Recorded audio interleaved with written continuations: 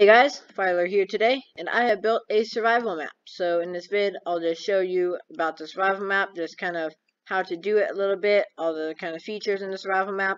If you guys have any additional questions about things in the survival map that I didn't cover in this video, put them down in the comments below. Anyway, let's get into the video.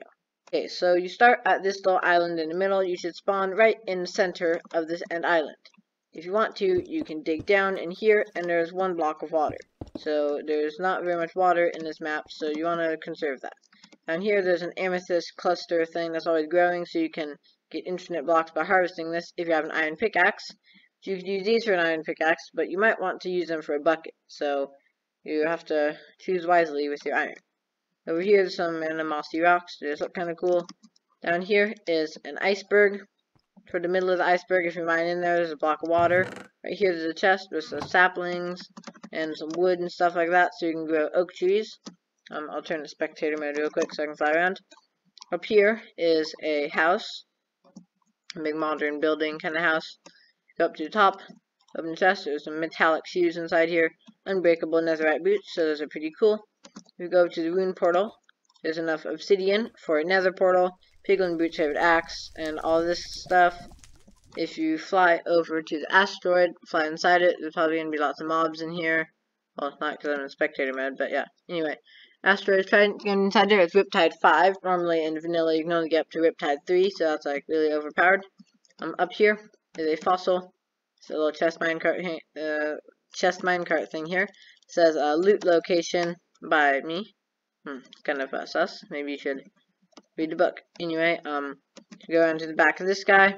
Unbreakable Warriors chest plate. If you go in here, there's a villager.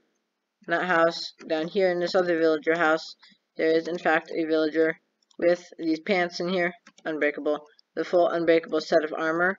Um, the diamond helmet. There's, a helmet, and um, you, you will have to find that um, diamond helmet on your own.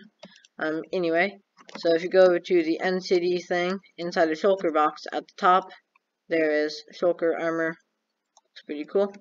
Uh, it's unbreakable too, so you can enchant that with something, and you don't ever have to put mending on it because it won't break.